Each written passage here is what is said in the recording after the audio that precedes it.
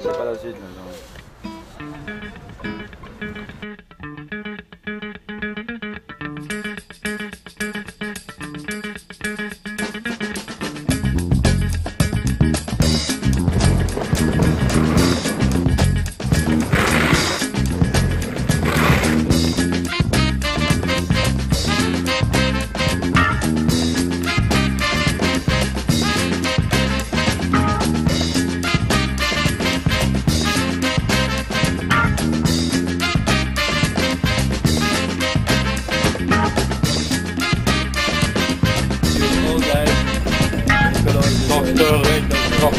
Nicolo Borcella, managed